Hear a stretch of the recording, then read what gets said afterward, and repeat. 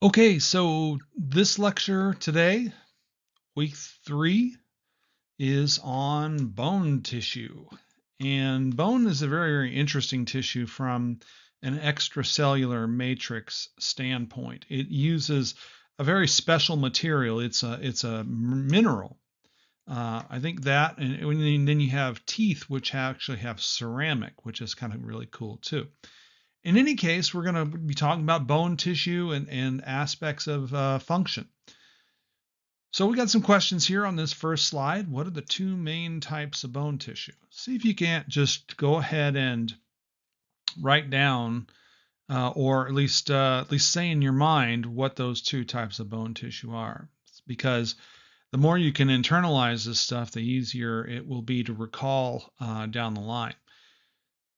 So got your uh, got your two types written down. Really just uh, two words.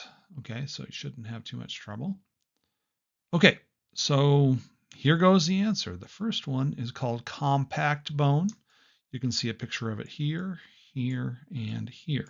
Now, if you look real closely at this image, you can see an outer layer. Okay, you can also see it right here. This is compact bone. The other type is spongy bone, also known as cancellous. Okay, that's what you're seeing here and here, and you can see it inside these areas right here.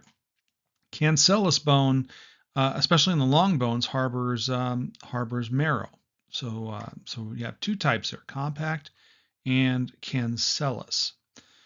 Next question: what is the main mineral in the ground substance of bone? That is to say, what is the primary mineral outside of, and each one of these little black things here is basically a cell. All right. I know that's not always easy for you guys because um, sometimes that may look more like a nucleus. Okay. There's a big opening right here. That's a central canal. Okay.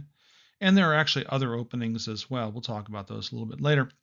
Um, but the primary mineral Ground substance is just another way to say extracellular matrix. Okay, uh, it's an older term. So, uh, any guesses? Well, this one's kind of fun because I, I always remember because I'm hungry a lot. So, the name of this mineral is called hydroxyapatite. Not with an E. If it was E, that would mean that I'm hungry for water or something. This is hydroxyapatite and it's actually a two-part molecule. It actually has two parts. That's why you don't reduce the numbers all the way. And I'm not going to ask you to recall that formula. Don't even don't even go there. What we do have though, you do kind of want to remember the name of that. It's hydroxyapatite. Turns out hydroxyapatite is used in uh, toothpaste. It helps restore uh, tooth uh, tooth material and so forth. How many bones in the adult human body? Well, it does vary. You know, there is a little bit of variance out there. Like, for instance, if you have two spinal um, bones fused together, I guess that makes it one bone, right? Well, you know, it just depends on your point of view, I guess. The answer to this is about 206 on average. All right. The vast majority of people out there have 200, and, and, and vast majority of adults anyway, have 206 different identified bones. So some important functions for bone. It's more than uh, than we might think. The first, uh, the most obvious one is uh, support of the body. Things like posture or the ability to move on to legs, bipedalism. Um, so super super important there. Um, and in fact, the different bones have different roles in the in that support. For instance, um, as we stand on our legs, there is a force of the weight of the body down towards the ground pressing on, let's just uh, use the femur for instance, that force is compressing the femur. And so the compact bone will uh, provide structure that resists that compressive force. Now, inside a femur, we also have spongy bone, and in lots of other bones, we have spongy bone. Um, and that one is for the twisting. That's what torsion means, either a twisting or, or a fulcrum type type motion. Um, not exactly tension per se, but more like a displaced force across the length of the bone. That's called torsion. Certainly protect internal organs, not the least of which is the brain, certainly the eyes, and and endocrine organs way down inside behind your nose. Um, the, the major vital organs like your heart underneath your uh, rib cage, uh, your kidneys, same way. So, in, especially vital internal organs. It's not to say your small intestine and your large intestine aren't vital, but they uh, you can afford to lose a little bit there compared to, or certainly your your skeletal muscle and stuff. You can afford to lose the, those latter th- those other things compared to you know things like your heart or your kidneys. Point of attachment for muscle. Okay, uh, you know muscle generates force by shortening, so you have to have attachment points on that muscle, otherwise it uh, it will not be able to generate force. We have red marrow, and the red marrow is full of precursor cells.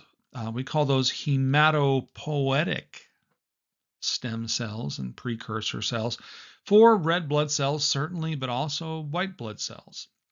So uh, neutrophils, basophils, and so forth, and also lymphocytes. Lymphocytes are are immune cells that we find actually primarily in the lymphatics. We find them in lymph nodes and in lymphatic tissue, um, but uh, those are all they all get their start in the red marrow. We also happen to have yellow marrow where we store fat as well. And this combination of red and yellow marrow makes uh, bone marrow a coveted ingredient um, in in all sorts of cooking around the world. Certainly French cooking, uh, and and other places around the world uh, re- recognize the nutritional and caloric value of marrow, and so it's considered a, actually a delicacy. Uh, many broths are made out of uh, bone marrow, whether it's chicken bones, make chicken broth, or uh, beef bones make beef broth. We can, uh, it's a dynamic reservoir for calcium. So if you have low blood calcium, uh, the body will recognize that and send out hormones that tell the, the osteocytes to begin breaking bone down. It actually causes the osteocytes to begin uh, turning into osteoclasts. Okay, and if you have a sufficient amount of calcium in your uh, in your bloodstream, um, the hormones may actually tell the, the osteocytes to become osteoblasts, and osteoblasts are the cells that lay bone down. And you're cycling through your your your uh, bones. It's kind of really cool. And as I mentioned in the first slide, it's calcium phosphate, and so phosphorus is important. We use a lot of phosphorus in our DNA. Uh, and phosphorus has other roles uh, throughout the body, including uh, protein regulation and so forth. So it's a dynamic reservoir for calcium and phosphorus. Osteocalcin is one of the hormones. It doesn't have to be capitalized. Okay, I, I don't know why it's capitalized in this slide, but in any case, I just it just bothers me. It should it doesn't have to be uppercase. It's a hormone. Uh, it's from osteoblasts, and and and what it does is it it affects other tissues that uh, affect the rate of absorption of calcium from the digestive tract and that sort of a thing. And so it's a marker for, for blood form, formation, among other things. Some general aspects of bone structure. Uh, we do have some variety across the uh, bones, and but the uh, overall, the most common motif when it comes to bones is that you're you have an outer layer, shall we call it a cortex? That's what that word means, outer layer of compact bone. And inside that compact bone layer, you have a medulla. All right, it's sandwiching cancellous, aka spongy bone. So you have a cortex and a medulla when it comes to bones. We have a category of, of bones called long bones. That's where they have one dimension that's longer than the than the uh, width. Okay, femur, humerus, and the distal bones in the fingers and toes, the phalanges. We also have short bones. And these include um, the more proximal bones in the feet, the tarsals, and uh, the hands, the carpals. And we also have these what are called sesamoid bones. They're they're they're found in in tendon, and so not not super common, but they're there. And those are because they have a cube-like structure. They are considered short. We have flat bones. We call them diplo. All right. Sometimes you see the E with a little umlaut, like diploe or something, but it's diplo. This includes your sternum, scapulae, the, the flat parts of the pelvis and the cranial bones. So they are they are very very they have a very very wide x and y axis and are relatively thin in the z axis. Then we have what are called irregular bones. These ones don't kind of conform to the standard situation. Uh, vertebrae are, are in that. Um, they're just uh, unique in their shape and structure. When it comes to compact bone, you have a very, very distinct morphology. It looks like um, like tree rings. Okay, that tree ring is actually one what is known as an osteon. Okay, it's these concentric layers of hydroxyapatite where you have a central canal. Okay, that's uh, the central canal that houses arteries, veins, and nerves. Okay, and then you have these little spots, and I'll show them up here as well, that are known as lacuna. These lacuna are little spaces, and inside lacuna, you have an osteocyte. Now, they could be an osteoblast, it could be an osteoclast, but more, most often it's a it's a relatively static osteocyte. And you can see these lacunae are far relatively far apart in cellular terms. These cells aren't really touching each other all that much. Okay. And so you have the central canal, you have lacunae, and inside the lacunae you have osteocytes. So what is the in the central canal? Okay, arteries, veins, and nerves. Now these lamellae, these concentric rings, contain the uh, the majority of hydroxyapatite, but they are bathed. Uh, you know, there are spaces in between here. There is what are called canaliculi. They're kind of you can kind of see them. It's kind of that gives it that sort of woody look to it um, those canaliculi allow for fluid exchange, and so that's where interstitial fluid is. Um, the cells themselves um, need to be uh, kind of adhere to the to the, the, the bone, and so there you'll find binding proteins. Again, this is extracellular matrix, also known as ground substance. And so these cells will anchor, and those those binding proteins also tell the cell to not die. The default pathway of a cell, if it's just out of place, is to apoptosis, is to die. And so those binding proteins not only anchor the cells, but they also say, hey, you're in the right spot. You're doing okay. GAGs are also known as a little more complicated word called glucose aminoglycans.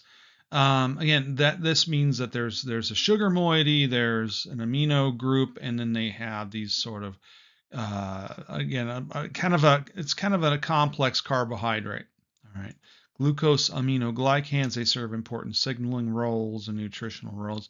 And then lastly, some minerals. That includes calcium, phosphorus, uh, and other minerals that might be deposited. Um, trying to think, there is one that deposits, oh, fluoride. Fluorine will deposit in bone if you're taking it up at a significant level. This is one of the reasons why you normally don't want to swallow your toothpaste. It's okay to swallow it from time to time, but um, swallowing it on a regular basis, and if you're doing a fluoride treatment, they really don't want you to swallow it. Fluoride can strengthen bone in very, very small quantities. But we've found um, in uh, Yellowstone National Park, the, the, the the spring water from the geysers and stuff there has a really high concentration of fluorine. And while the animals do well in the winter because the water's nice and warm and they, they can eat all year round because the water's warm and it warms up some of the stuff around the, the springs and stuff, because of the high fluorine, their teeth actually get weaker and so they actually die a premature death because um, because they uh, the teeth are so full of fluorine that they're actually weaker than a normal uh, tooth. A little bit of fluoride is good.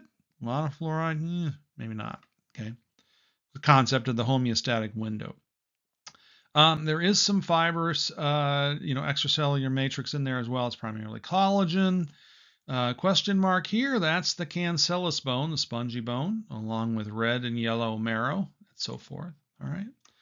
And so you can see it's a it's a comp you know not not a super complex architecture. The main thing is get that canal down, know some of these uh, some of these basic terms like okay lamellae are the rings, lacunae are the sort of side uh, you know, uh, the spaces where the cells are, and then you have a canaliculi, which allows for uh, fluid circulation. And here's a zoom in on a single osteon, a single ring-like structure. Okay, so there are the concentric lamellae, a central canal. All right, lacunae. Canaliculi, you can kind of see are these radial uh, structures. When it comes to long bones, they have some structural similarities and, and a lot in common. And so we're going to look at some of those uh, general uh, uh, anatomical similarities. The first thing is that when you have an articulating surface, there's, you know, and that's what articular means, that, that this is where the, the bone will will swivel on on a contact with uh, either with another bone or another structure of the body. Um, that's it's composed of a hyaline form of cartilage. It's called articular cartilage. Again, where the bone articulates, where it uh, where it connects to another bone, etc. The epiphysis, all right, the epiphysis in the case of the femur is actually quite uh, quite striking.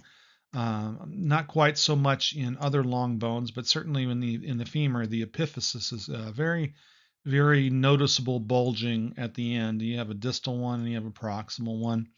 Um, in any case, that's the bulging at the end of a long bone. Then you have the diaphysis, which is the shaft portion of that bone. So here's the diaphysis, and inside the diaphysis, this is where you're going to have a, you know, a cavity that contains yellow bone marrow, etc. Around most bones, uh, you have a double layer of uh, a cartilage-like tissue. Uh, connective tissue, it's dense, it's irregular. Um, it's called, there are two layers to it. One's called the periosteum, that's the outermost layer. Peri means outside or, or furthest away. Distal and peri are in some cases, but peri implies more of a surrounding thing rather than distal. In any case, the periosteum is uh, is dense irregular connective tissue that that sheathes the bone, and it contains uh, bone precursor, but you know osteocyte precursors, and as well as osteoblasts and osteoclasts.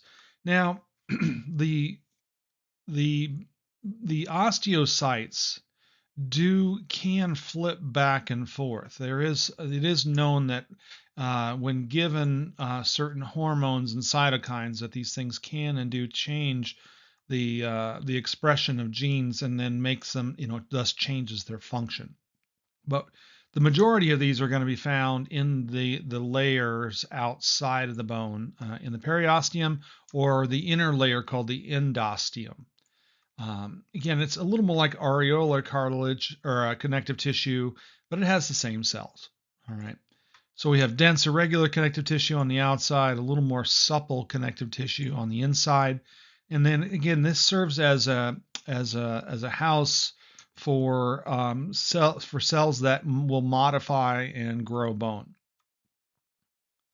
Medullary cavity again, this is uh, in the, usually in the uh, the diaphysis. Uh, in what you have here, this is primarily uh, yellow marrow. Um, red marrow would be found up here in, inside the epiphyseal medulla, okay, where the spongy bone is located. Lots of yellow marrow in here. There's also this thing called an epiphyseal line. Sometimes uh, when, when it's actively growing, usually pre-pubertal, pubertal, excuse me, before, you know, uh, right up and leading right up into puberty, um, this this this no longer it's not a line. They call it an epiphyseal plate, a growth plate and that's where you see the most enhanced growth of the bone in terms of lengthening the shaft. Now, in gals, you, your epiphyseal plates will close a little sooner uh, than guys will. Guys can go well into their college years, um, late late teens and early 20s in some cases. Um, there have been examples of people who've gone into military academies um, and uh, they grew another several inches while in the military and actually went outside of the normal range of a military uh, uh, size uh, and became NBA basketball players in some cases. So that's the epiphyseal plate. But when it when it when it closes, when when the cells stop growing, it creates a, a, a thin line of, of dense bone there called the epiphyseal line. And then you have arteries and veins uh, that service the bone. Uh, they enter at various spots. You can find the you can find those openings if you look carefully on on bones. So as we mentioned in the previous slide, in the epiphysis, this is where you find the cancellous bone, um, and this is where you find uh, red, you know, cell blood cell precursors, what we would call hematopoietic cells. And then the diaphysis, what you find is, is primarily fat tissue there. When bones form, and this isn't something that's just human, it happens in mammals and in reptiles and other and other organisms. You have two major ways that that bones ossify, that is to say, lay down the mineral and, uh, composition and extramembrane composition uh, of these bones. One is called endochondral, and the other is called intramembranous. Now, endochondral normally forms the, the longer bones and the non-flat bones, shall we say, uh, the long and short bones, but not the flat ones. They, what you get is a sort of a collar-like. You get a sort of a, a collar that forms in the, the diaphysis, and it sort of moves distally in both directions. Now, as as the bone lengthens, you start to get a, a sort of a uh, you're replacing uh, the the cartilage um, template with a bone structure, and so you will have deteriorating cartilage, cartilage with a supplementary um, uh, hydroxyapatite collar, if you will. And as it grows, then other tissues begin to evolve, like, for instance, the, the uh, vascular tissue and the neural tissue will actually move into. It's actually sort of an invasive process, if you will. Now, as the diaphysis gets longer, you will get secondary ossification in the areas where you're going to get articulations, where you're going to get uh, different shape structures. So you have this diaphysis growing, and you have these secondary ossification centers. And between those two is where you get that sort of epiphyseal plate because you've got growth going on here and you've got growth growing here as well. So, all right, up until with uh, girls, it can be to age 12 to 15 or so. Uh, with guys, it generally goes later, um, usually maybe as late as 19 or 20, and, or even later in some cases. Um, there have been players drafted into the NBA out of college or and and then in then playing in the NBA they grow several inches um, you know because because of the late closing of the epiphyseal plate. Now that's endochondral. It's kind of a collar like extension and then you get secondary ossifications at the articular surfaces uh, um, or the epiphyses if you will then you have intramembranous, and the way to remember intramembranous is to look at a turtle shell because you see these kind of kind of ring-like structures. It's very a turtle shell is very flat, and it turns out turtle shells are intramembranous bone. Uh, you can also think about your skull in this way, uh, or your scapulae. With intramembranous ossification, what you get is you sort of get a center of ossification and it sort of works its way in a in a shall we say in, in a in a larger concentric pattern. So if you go back and look at that turtle shell again, you can sort of see the ridges are forming these sort of almost concentric uh, growth, and that's what's happening is it's starting from a center and radiating out rather than working in say a two-dimensional thing. It's radiating out, you know, in all directions. And so you deposit, and, and, and this this center grows and expands, and eventually, at some point, you're going to start to develop uh, the makings of an internal spongy with an outer uh, uh, compact form here. But even so, this morphology is moving, is spiraling outward from that original center, if you will. Um, and then the diplo, that's the that's where the spongy bone is uh, in in uh, in the bone, uh, and the spongy bone houses uh, red marrow for uh, uh, blood cell differentiation and maturation. So bones do get modified over the entire lifespan of the individual, But in terms of the the dimensions, in terms of the overall thickness and length, most of that happens after birth. Uh, obviously, you have to be able to fit through the pelvic window at birth, or the or or it's not going to work. You're not never going to make it out of the mother's body. So the the bones are considerably smaller uh, at birth, and then uh, much of that growth occurs postnatally. Um, in terms of length, that's the epiphyseal plate until you reach uh, until you reach um, uh, adolescence again, a little sooner in women. Uh, uh, estrogen is a is a, an epiphyseal modifier, and so you're getting uh, you're getting this uh, this bone growth um, th- through the epiphyseal plates primarily for length. In terms of thickness, what you've got is you've got a sort of a, uh, an outward radiation. It's it's more like intramembranous. That's kind of the intramembranous thing, and it's growing in both directions. Uh, we call appositional growth. So what we've got going on is that these uh, the periosteal cells can and do, uh, as the bone grows, differentiate into blasts, which lay down uh, secrete extracellular matrix that then polymerizes and crystallizes. Now those osteoblasts will get uh, will get entrapped in that secretory process, and under under um, standard circumstances will form a relatively quiet osteocyte. Um, and and but they can these osteocytes can and do flip back and forth between a blast, which is laying material down, and a clast, which is taking material up. All right. Yes, you can. They communicate through interstitial fluid via the canaliculi, which are these microscopic channels in the in the crystal in the uh, hydroxyapatite crystal to allow for signaling and uh, nutrition purposes. So here's a nice picture of the epiphyseal plates here above and below the knee joint. And if you look closely in this epiphyseal plate, you can actually subdivide different zones. Uh, for instance, there's a resting zone where not a whole lot's going on. This is basically uh, mostly um, extracellular matrix. But below that, the first zone, and then we're going from, you know, uh, we're going from superficial to deep. So this is primarily cartilage up here.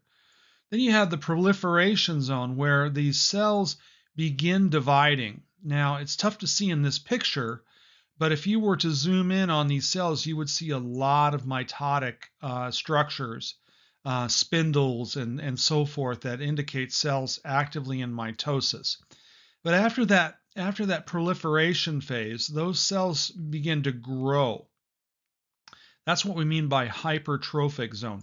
They're not dividing as much, and so their cytosol is accumulating.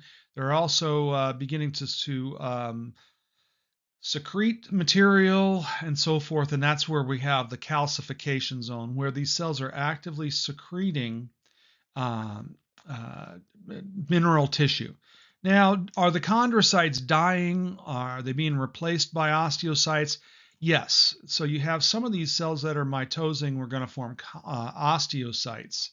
And uh, the chondrocytes uh, generally just shut down and eventually die whereas the remaining cells that are still alive are actively secreting hydroxyapatite and uh, and are living. And then down here at the bottom we have um, we have uh, more of that bone material. There's more of the extracellular matrix. So this is where we have fully calcified uh, bone. The next few slides, we have several pictures of just showing you the bones. And again, you can always kind of spot that epiphyseal plate right there can't quite see it in the fibula. It's probably sitting some, you know, fibula isn't that uh, isn't a major supportive bone, so it doesn't quite have the same, you know, it's there. It's just that it's a lot harder to see. Um, talus, yeah, I can kind of see it over a little bit over here on the right.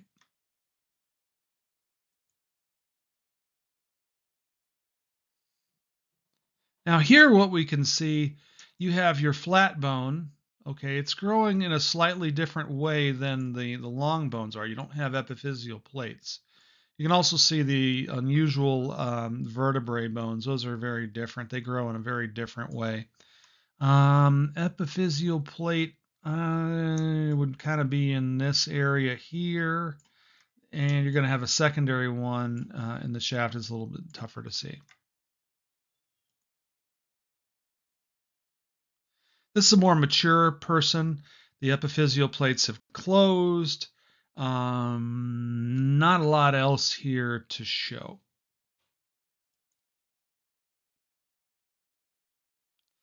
Same story here. Um, interestingly, you can see some of the spaces of the large intestine here. That's kind of cool. Um, again, a more mature adult. Uh, I can just make out a, a, uh, a little epiphyseal plate right there, and there's a little one right there. Here's a good example. This is a this is a cross section, and you can see where the that dense bone and that cancellous bone is found, and then you have more dense bone here uh, again. Uh, and this is part of the pelvis here, so you can you can see the the difference between the the dense bone cortex and the cancellous medulla. And so bones generally stop growing in length once you sort of reach, uh, you know, puberty. And that's because the whether or not a bone grows depends on how much growth hormone, thyroid hormone, and other sex hormones, including estrogen uh, uh, and so forth. This is why when uh, girls enter adolescence, their their their amount of estrogen, progesterone, and so forth kicks in, and that generally shuts down bone growth. Um, in men, it's a little bit different. It's it's a ratio because the bones are dynamic. They can grow again, or they can keep growing. The world's tallest man, he died in his 20s. He was still growing at 8 feet 11 inches. That's because he had a tumor in his anterior pituitary that was secreting boatloads of growth hormone. And it just basically oh it swamped out the effect of the other bones or the other hormone, excuse me. Bones can and do remodel depending on the forces that are involved. This is known as Wolff's law. Um, this is the what I call the, the law of braces. So when you get braces on your teeth, what you are doing is creating asymmetric forces on your jawbone and your maxilla. It's literally melting bone and then bone is forming behind it as you're moving the teeth using those forces. So if you walk a lot, like for instance, if we look at um, bones from the Roman Empire, everybody walked with rare, rare exception. And so if they if you compare those bones to that of the modern day person, their bones in their femurs and their tibias and their ankles and and the in the um, and the interface in the articulation with the hip much much more robust. That's because generally people just walked everywhere. It was rare that somebody would ride in a chariot, very rare, less than one per 1,000 people. And even if you're riding in a chariot, you still didn't do that all that much probably probably nobility were the only ones who didn't walk to uh, to a significant degree. And, but everybody else, you know, if you go to uh, uh, uh, to a, an archaeologic site, you can see a much more robust leg structure because of how people use their legs more than we do now. Now, when we remodel, and, and there there is a there is a general remodeling going on. You cycle through bone tissue about every 10 to 20 years you're always sort of regenerating bone due to the fact that the bones are undergoing stress and and and and the crystals kind of break down, so they kind of need to be regenerated. Um, the the bone remodeling, what you have to do is you have to break down um, uh, the old bone before you can lay down the new bone. And it's kind of a it's kind of like a pitting. It kind of it kind of the bone kind of looks like a golf the surface of a golf ball. And sometimes you need to release calcium for things like nerve and muscle function. Calcium is super important for cardiomyocytes and, and so forth. So if you're low calcium, your bones will break down a little bit more. That's kind of the basis of osteoporosis. Now, the cells that are involved in this bone remodeling and breakdown are the osteoclasts. These ones will uh, dissolve the bone and release uh, calcium. And then you have the osteoblasts, which release uh, hydroxyapatite and build up bone. And whether the bone is gaining or losing mass depends on uh, the ratio of cells that are acting in an osteoclastic way versus ones that are osteoblastic. And we're still trying to figure it all out because these things can and do sort of flip. Now, one thing that's uh, significantly different about osteoclasts versus osteoblasts is that osteoclasts are sort of fused cells. They they sort of form these multinucleated, um, you know, Frankenstein-looking cells that are involved in dissolving and uptaking uh, uh, the, the the mineral. Osteoblasts are mostly or thought to be uh, mononuclear and if they're switching between the two, that sort of means that they fuse for a little bit and maybe they dissociate. It's still a work in progress. It, it, there's a lot to learn, just like we need to learn more about osteoporosis.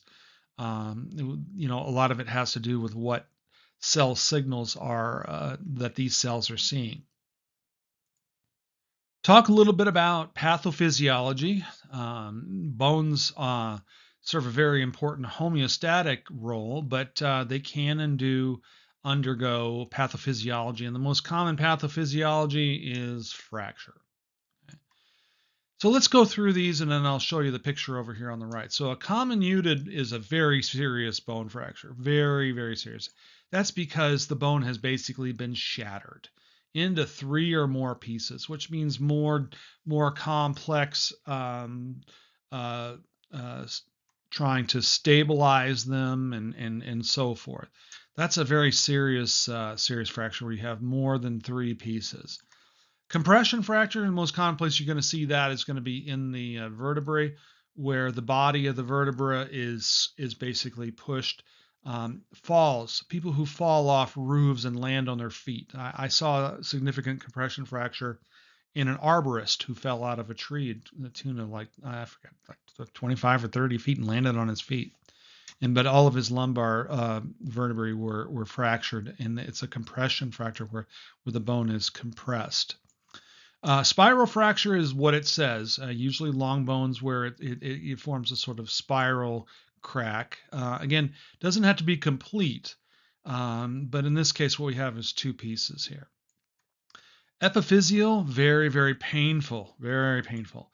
What happens is the bone's ever so slightly weaker at the epiphyseal plate because that's an area of active bone growth. So you're going to see this a lot of the time. Uh, you're going to see this in uh, pre-adolescence, you know, or early stage adolescence, the most common time that this sort of thing happens.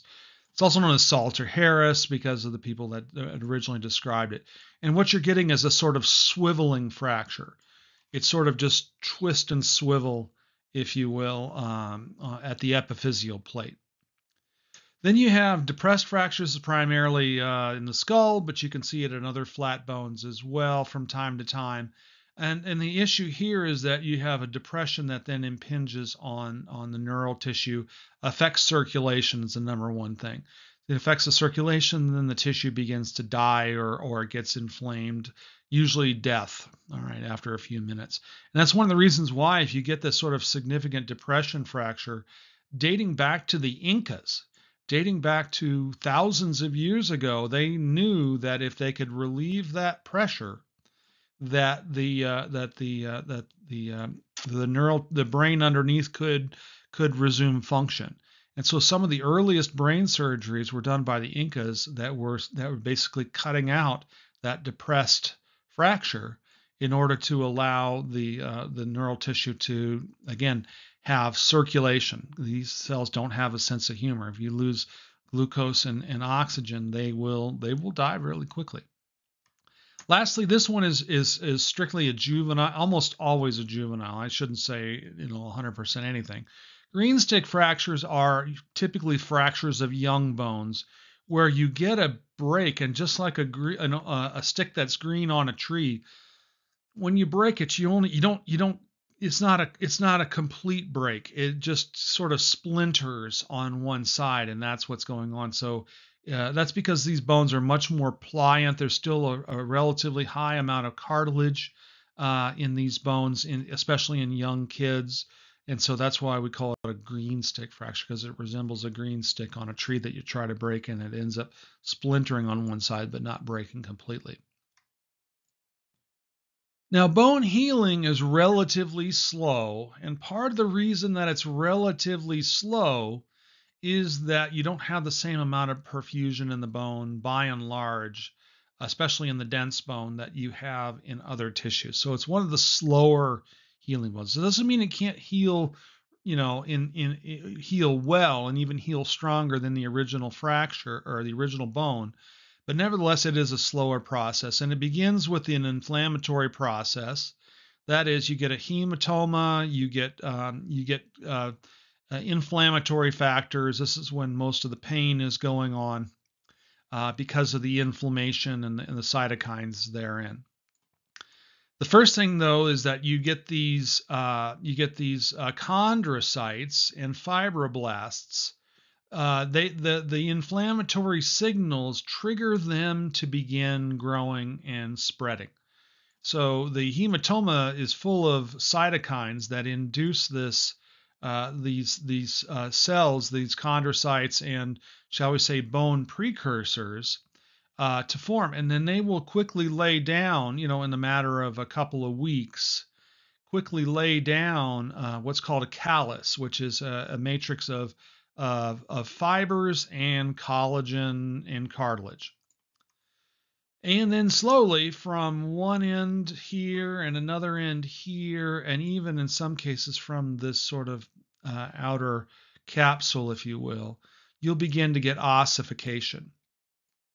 And this is why um, many months or even years, and so the ossification is first we have a, a, sort of a spongy bone here, and it gets progressively more dense over time that for for years you may have a noticeable bulge in that bone.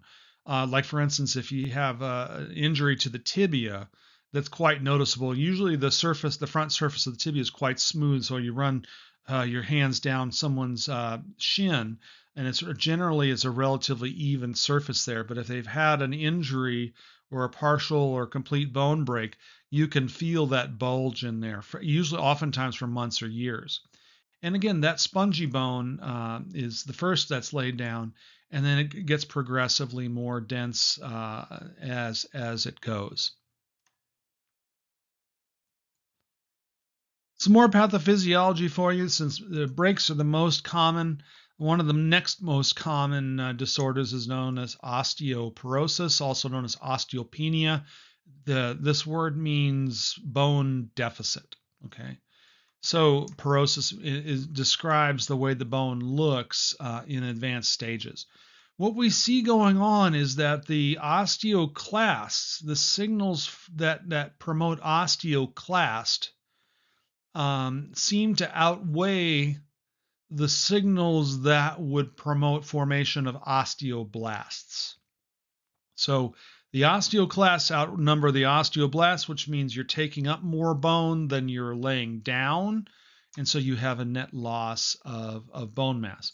Uh, oftentimes in the spongy bone, um, but it can it can be in other places.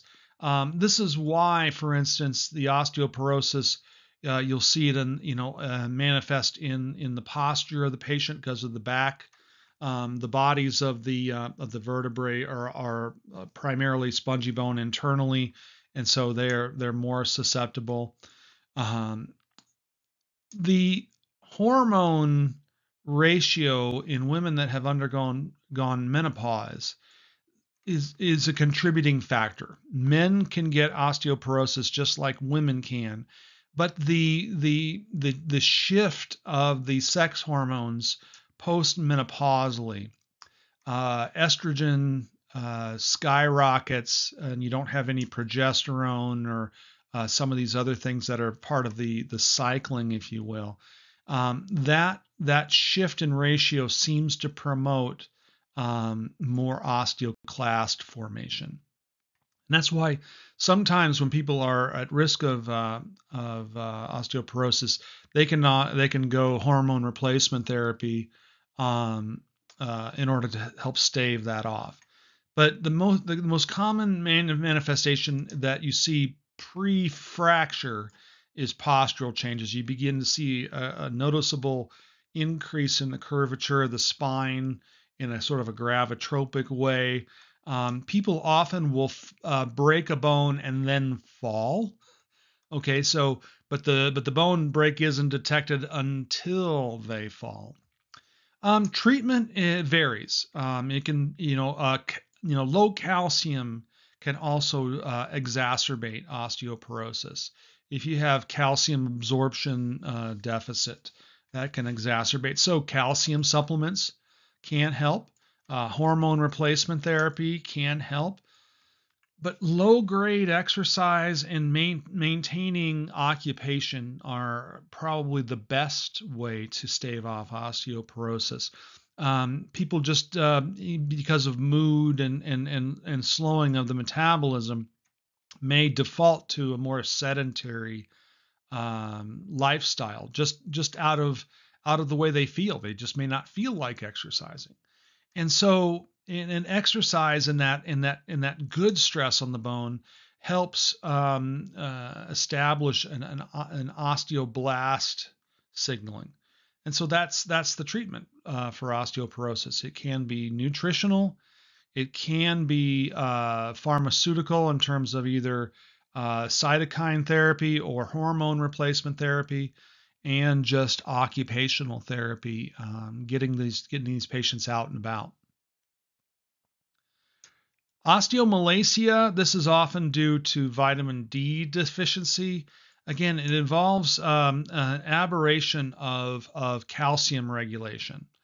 Um, if you have a lack of vitamin D and calcium and you're young, um, uh, and where you in societies where covering is very very important especially in very very conservative societies where where uh, women are kept indoors and fully covered uh, much of the time they can suffer from a lack of vitamin d which can then screw up their calcium homeostasis all right so what's happening is you're losing calcium um, you will see you can see it in children we call it rickets in children that's usually a vitamin d deficiency it's all but gone away in countries that use vitamin D supplemented milk. But as we have sort of shifted to more vegetarian and vegan paradigms, the children of, vegeta- of strict vegetarians and vegans um, are at, at, at, increased risk. Uh, very easily uh, dealt with. Vitamin D is actually synthesized by just a little bit of exposure to sunlight. So just getting the kids outside, getting them active, maybe a little bit of vitamin D in the food, etc. So Paget's disease, this is where we get uh, uh, again it's an and it's an imbalance of resorption versus formation. Now you're getting resorption, but you have this not organized. It, it becomes dysregulated reformation. And so you're getting loss of architecture, you're getting a, a, a, a dystrophy um, uh, of, of the bone. And this can be really, really, really painful. You get bone spurs, for instance, is a sort of a, a bone spur is a very mild iteration of, uh, of a more extensive Paget's disease. It can be genetic, a lot of the time it is. It can be the result of viral, certain types of viral infections, though it's not entirely clear how that goes. The main treatment here is uh, medications that are designed to um, basically slow down uh, resorption. Uh, and, and, thus, if you have less need for resorption, then reformation by default gets uh, uh, gets slowed down as well. So the idea here is to just basically slow the bone down in general. Again, this can be really, really painful depending on how extensive the and disorganized the reformation is. Not super common, but uh, when it manifests, it manifests and it's quite painful. And so here's a cartoon showing what normal spongy bone will look like, and you can see that the the the cross beams, if you will, are so much thinner, and this can occur certainly in the uh, the bodies of the uh, of the vert- vertebrae bones can also occur in the large uh, it's you're most susceptible to injury where the stresses are the greatest and those those are in articulations of the major supporting bones like like uh, the ball and socket here in the pelvis so the, the the the femur if you will but you can see it in almost any long bone uh, uh, that that has um, a significant amount of uh, cancellous bone. Here's uh, here's a, a, a juvenile. This is rickets. Okay, so that this bowing of the legs uh, as the child is uh, is ambula- ambulating, that is to say, they're up and walking, the manifestation gets worse and worse because the bones are not completely ossifying, or when they do ossify, it's delayed, and so they begin ossifying when the bone has already been bent due to the increased stress loads of ambulation.